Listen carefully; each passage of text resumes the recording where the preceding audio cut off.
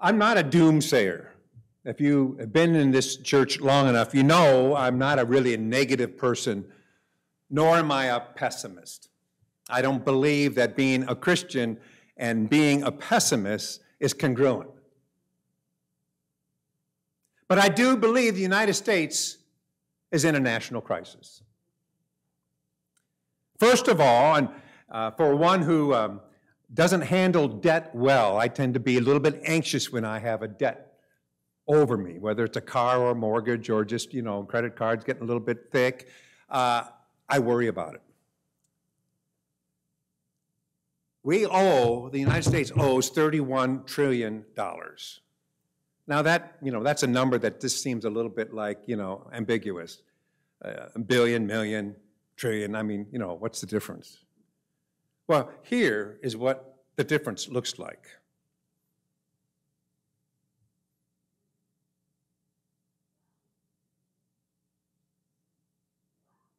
That's $31 trillion.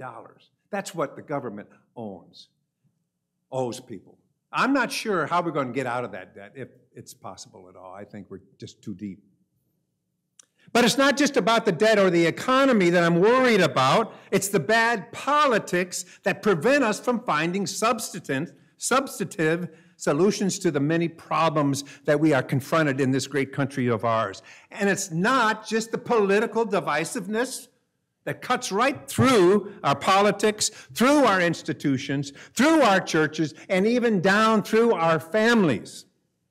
Neither is it the disparity in the rich poor gap, nor the decline in Christianity. It is all that, but it's more.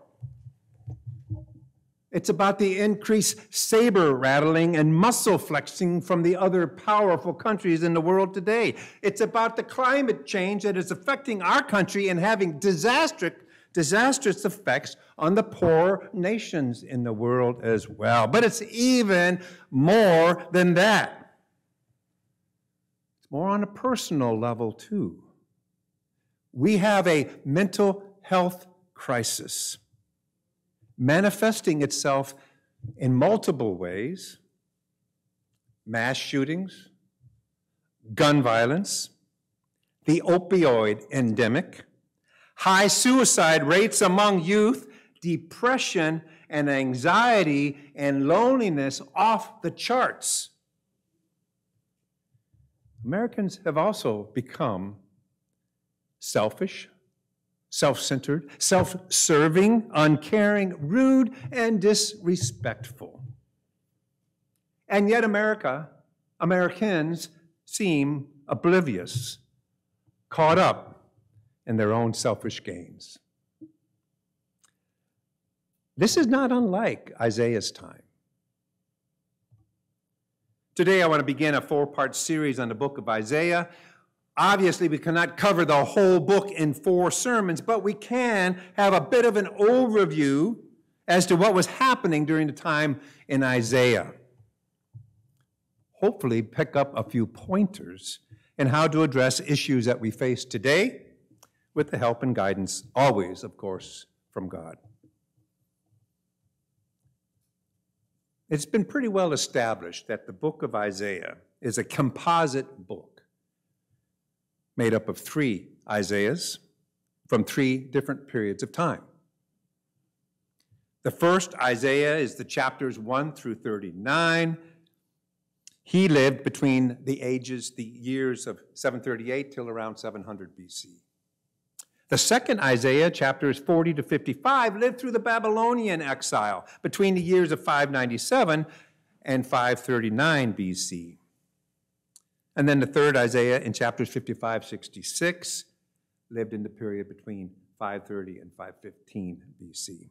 Now, you'd find some people would argue about that. One's Isaiah, the book says it's one Isaiah, it's one Isaiah.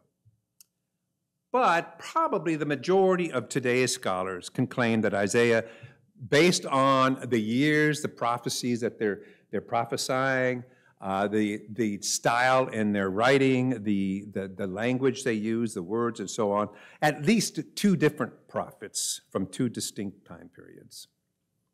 But today we want to focus on the first Isaiah, and he lived in tumultuous times in the northern kingdom.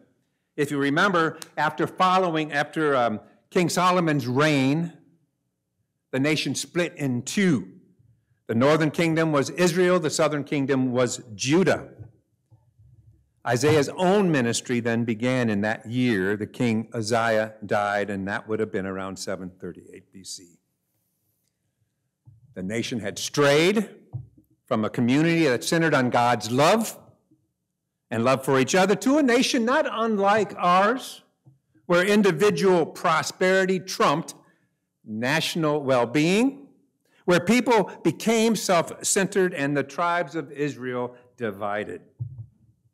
And with King Uzziah's death, things were beginning to happen that the nation was ill prepared for. The international situation, again, not unlike ours, was extremely tense. Egypt, to the west and south, was rising. Syria was a growing threat in the north, and Assyria was a menacing global power. However, the people of Israel were oblivious, seemed blind to these growing threats. So, in the first part of our scripture reading today, Isaiah has this doozy of a vision. I'd call it a nightmare.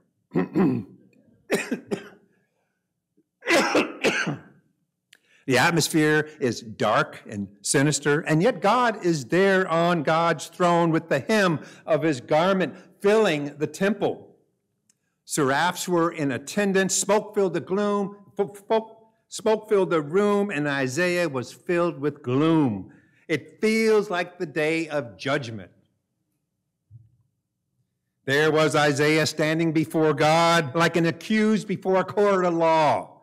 But instead of hearing a sentence of punishment, Isaiah is forgiven. And now God speaks for the first time Whom shall I send? Who will go? And as courageous as little Frodo in Tolkien's trilogy, Isaiah responds meekly Here I am. Send me. God had called that nation to repentance time after time, over and over again.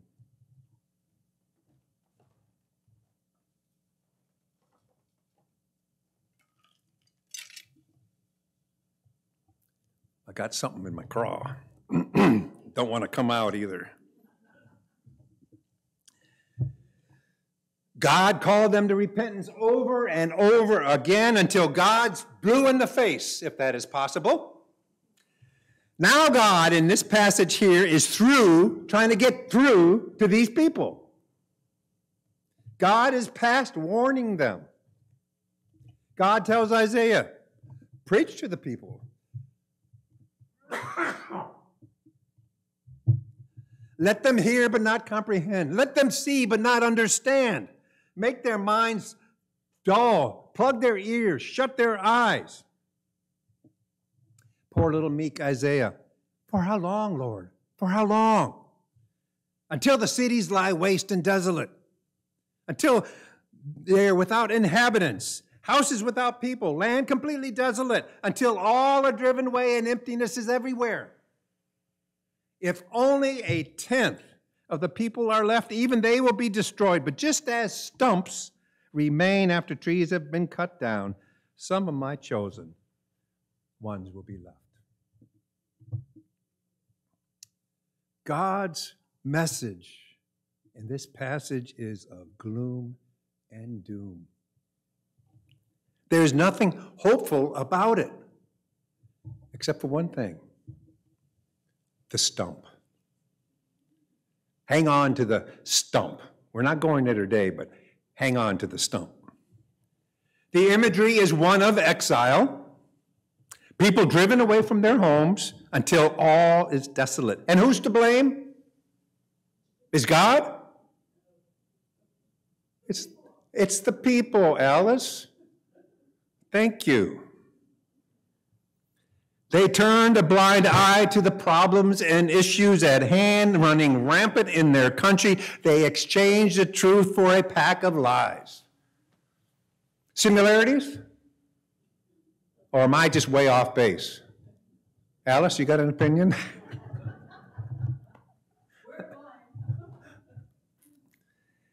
Even though they were hearing Isaiah, they were not engaged in the conversation. They did not hear what was being said. It's kind of like the expression going in one year, ear and. Uh huh, you got it.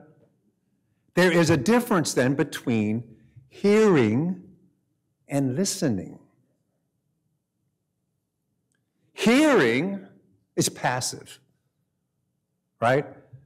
I hear Interstate 64 all the time. It's just noise. I don't pay any attention to it. I hear the train down here as it's going west towards Roanoke.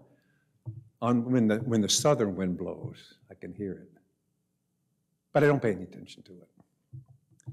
It's involuntary. It happens, we hear it. It requires no effort to hear. Physiological perception of sound, we recognize that there is sound in the background.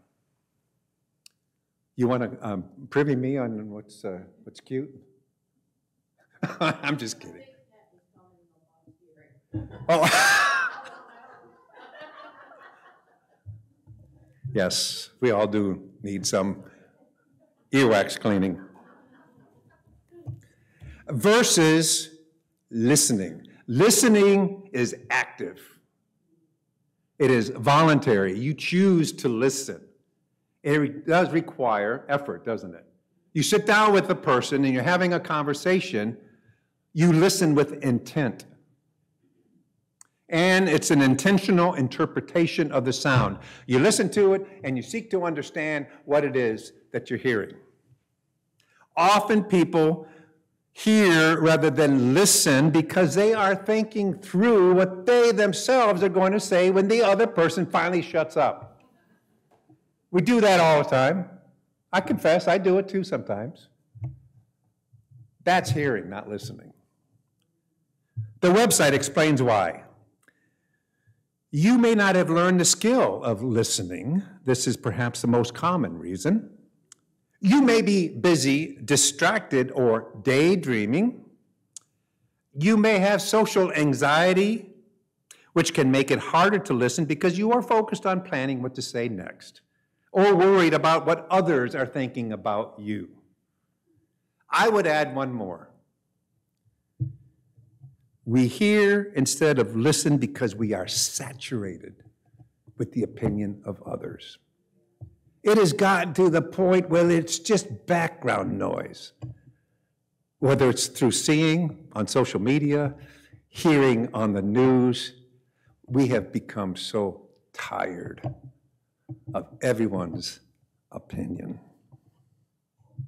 We hear it in the news by our politicians, by our social media, and even, chagrin, chagrin, by our ministers, who's rattling on and on. It becomes so loud and annoying that we tune it out. And when we do, we tune out the good with the bad because God is also speaking. But we turn a deaf ear to God's truths. And the truth of it is, is that the truth that changes our personal lives, that can change our corporate lives as a nation, is the truth that most don't want to hear. So, what do we do? We're caught between a rock and a hard place. We're in difficult times. We are in a national crisis. Well, like Isaiah in the first part of our scripture reading, we need to recognize our own complicity in all of it. We can't just say, hey, you guys. It's, hey, us guys. We're in it together, right?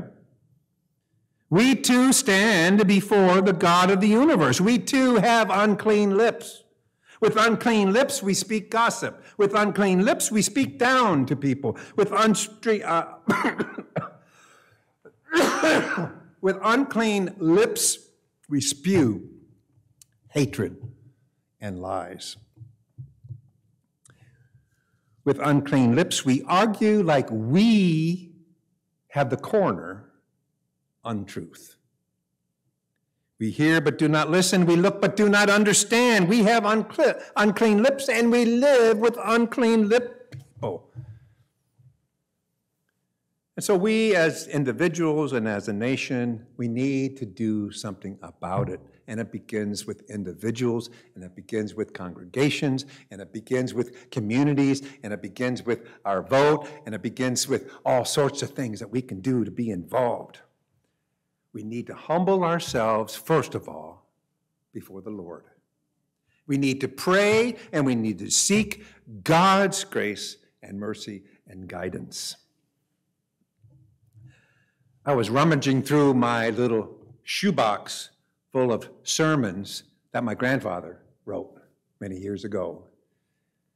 He preached a sermon in 1962 on this subject at the Terrace View Church of the Brethren in Bedford County, Virginia. So I was waded through there. I was having some problems trying to finish the sermon. So I thought, well, maybe Grandpa has something to say about this. Even though 62, nah, it probably wouldn't be relevant. I looked through it anyway. This is his concluding thoughts. 1962. I think we are living in times of spiritual drought.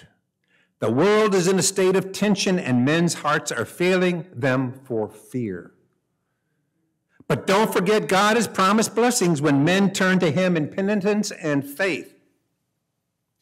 Do we wish to do something to make this a better world in which we live? Do we wish to see that righteousness which exalted a nation is established in the land? Do we wish to see the windows of heaven opened and blessings poured out? Then this is what we need to do. Second Chronicles 7:14. If my people, let's say it together. If my people who are called by my name humble themselves, pray, seek my face, and turn from their wicked ways, then I will hear from heaven and will forgive their sin and heal their land. God bless the reading of his message. And so, whether the year is 738 BC, or whether it's 1962, or whether it's 2023, the formula is still the same. Seek the Lord and his righteousness, and all good things will be added unto you. I want to end with a prayer by Sir Francis Drake. Pray with me. Pray with me. Disturb us, Lord, when we are too well pleased with ourselves, when our dreams have come true because we have dreamed too little when we arrive safely because we have sailed too close to the shore. Disturb us, Lord, when with the abundance of things we possess, we have lost our thirst for the waters of life. Having fallen in love with life, we have ceased to dream of eternity. And in our efforts to build a new earth, we have allowed our vision of the new heaven to dim. Disturb us, Lord, to dare more boldly, to venture on wider seas where storms will show your mastery, where losing sight of land, we shall find the stars. We ask you to push back the horizons of our hopes and to push into the future in strength, courage, hope, and love. Gracious God, redeeming God, guiding and comforting God. Help us begin by asking what Isaiah asked, answering what Isaiah was asked by God. Whom shall I send, and who will go? Lord, give us the courage to say, Here I am, send me. In the name of Jesus, our Lord and Savior, we pray. Amen.